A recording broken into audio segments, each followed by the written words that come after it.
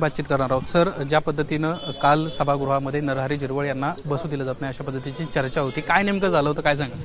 नाही तसं काहीच नाही. नरहरी झिरवळ आमचे मित्र आहेत आणि अजितदादाला वाटलं की हे यांना बस बसवायचं नाही. परंतु ते उपाध्यक्ष असून जेव्हा अध्यक्षाचा कार्यभार सांभाळत होते त्या टायमाला मॅक्झिमम सभागृहाच्या त्या चेअरवर मीच बसत होतो.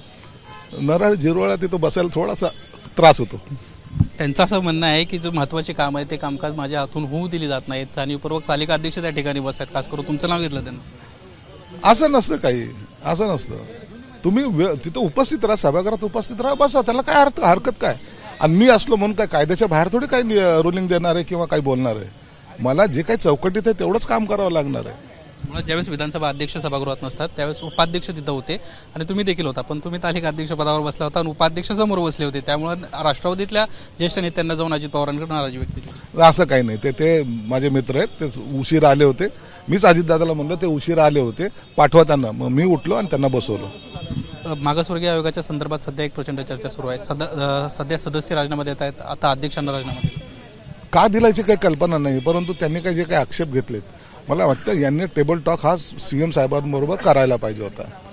अशा बातम्या करून राजीनामा देऊन चालत नसतं तर तुम्हाला आलेल्या अडचणी जर खरंच तुमच्यावर काही दबाव होता का खरंच तुम्हाला काही काम करताना अडचणीत होत्या का या सी एम साहेबासमोर स्पष्ट करायला पाहिजे होत्या. तुम्हाला तो अधिकार आहे ना? मग तुम्ही असं प्रेसकडे किंवा बाहेर बोलण्यापेक्षा सीएमला बोलायला पाहिजे. त्यांचं असं म्हणणं आहे की आम्हाला काम करू दिलं जात नाही. आमच्यावर दबाव आणला जातो तुम्ही राजीनामा द्या. कुठेतरी ती जी संस्था आहे तीच डिझॉल्व्ह करण्यासाठी प्रयत्न अरे पण एकदा चर्चा तर कराल का नाही तुम्ही? चर्चा न करताच का? असं नाही चालत.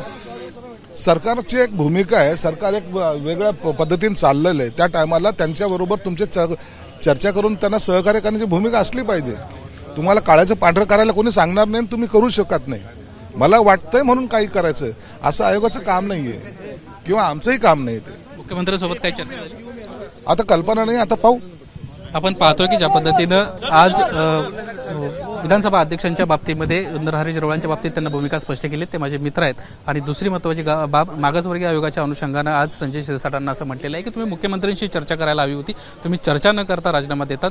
हे योग्य नाही. किमान काय अडचणी आहेत त्या समजल्या असत्या. कॅमेरामॅन प्रशांत मानेसह निलेश बुदावले एबीपी माझा नागपूर. एबीपी माझा.